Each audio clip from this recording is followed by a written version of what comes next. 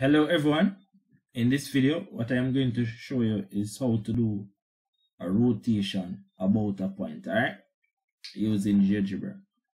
Alright, let's begin. The first thing I need, I need a, a object. So I'm going to select my polygon tool here.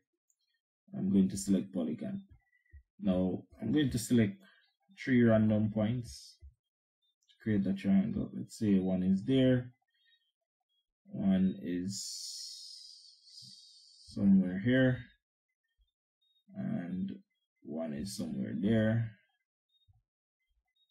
and I complete it right back at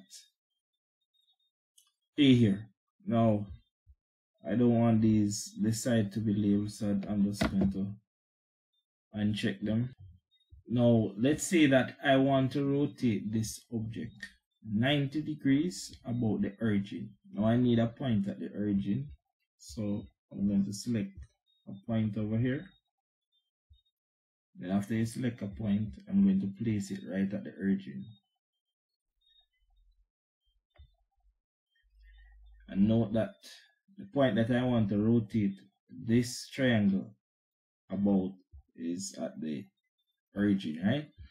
So now I need to just click back on this arrow to ensure that that menu is no longer in use and what you need to do you are going to go to the transformation menu which is this menu and you are going to go down to rotate about a point.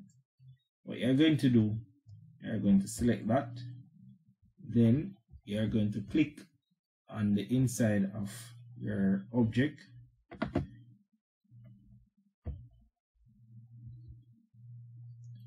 and after you tap on the inside of your object you notice that the object is now being highlighted. You're going to tap on the point. and after you tap on the point now it asks you for the angle at which you want to rotate the object. And I did say 90 degrees so I'm going to delete that 45 and type 90 degrees. And it also asks you if you want to rotate it clockwise or counterclockwise I'm going to rotate it counterclockwise, so I'm going to select OK. And it's automatically going to rotate it for me. And here is your image after you have rotated.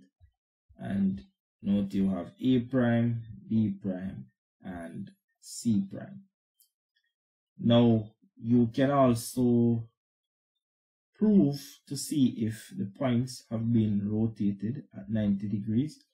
So what you can do is to select back this arrow here and then you are going to select this feature that have line segment I'm going to select line segment.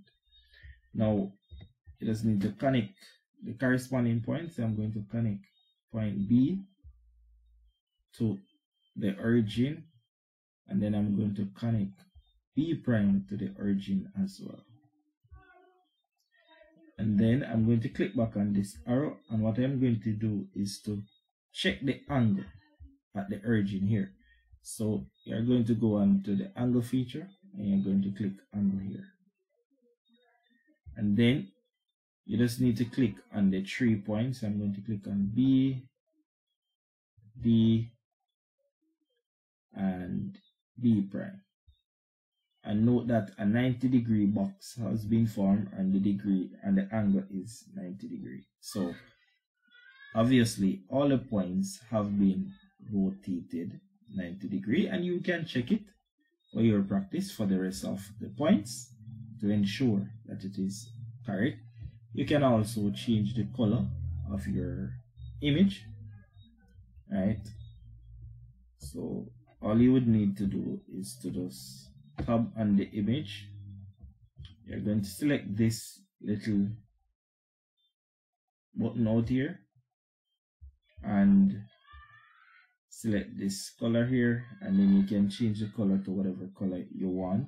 If you don't like this color then you can select the plus sign and you will get a huge amount of colors to choose from. So let's say I want to use a red color. So all I need to do is to select the red color. And that's it there. And then you can just exit off back because you don't want to use it. And there is your image. So that is how you use um, GeoGebra to rotate an object